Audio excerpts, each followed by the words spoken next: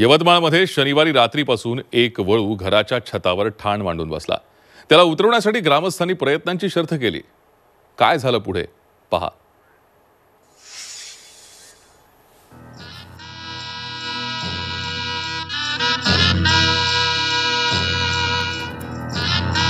एका घराच्या छतावर चढलेला हा वळू.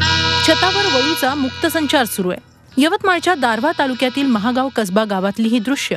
इथल्या गणेश राठोड यांच्या घरातील पायऱ्या चढून हा वळू शनिवारी रात्री छतावर पोहोचला आणि तिथंच ठिय्या मांडून बसला. रविवारी सकाळी या वळूला खाली उतरवण्याचे प्रयत्न सुरू झाले. मात्र हे महाशय खाली उतरेच ना अरुंद पायऱ्या चढून वळू वर कसा गेला आणि त्याला आता खाली कसं उतरवावं असा प्रश्न घरमालक आणि ग्रामस्थांना पडला. घाबरत घाबरत काहींनी त्याला चारा दाखवून खाली उतरवण्याचे प्रयत्न केले. मात्र तेही प्रयत्न अयशस्वी ठरले. कोणतेच प्रयत्न यशस्वी होईना म्हणून गावात क्रेन बोलावण्यात आली. मग या क्रेनच्या सहाय्यानं या वळूला खाली उतरवण्याचे प्रयत्न सुरू झाले. आधी या वळूला गुंगीचं इंजेक्शन देण्यात आलं. त्यामुळे सुस्त झालेल्या वळूपर्यंत पोहोचण्याचं धाडस काही ग्रामस्थांनी केलं.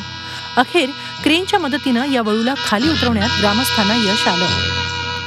गावातील वळू परशुराम राठोड यांच्या घरामध्ये गवत खाण्याकरता गेला असताना धार लागल्यामुळे तो जिना चढून स्लॅबवर चढला. क्रेनच्या साह्याने त्याला दोरीने व्यवस्थित बांधून खाली उतरवले. एकीकडे वळूला खाली उतरवण्याचे प्रयत्न सुरू होते. त्याचवेळी ज्या घरमालकाच्या हाताने चारा पाणी खाऊन वळू छतावर गेला त्या घरमालकाच्या वडिलांचं सोमवारी सकाळी निधन झालं. त्यामुळे गावात शोककळा पसरली होती. मात्र शनिवारपासून छतावर ठाण मांडून बसलेल्या वळूला खाली उतरवण्यात यश आल्यानं साऱ्यांनीच सुटकेचा निश्वास टाकला. Shrikant राऊतसह bureau report Zee media Yavatmal.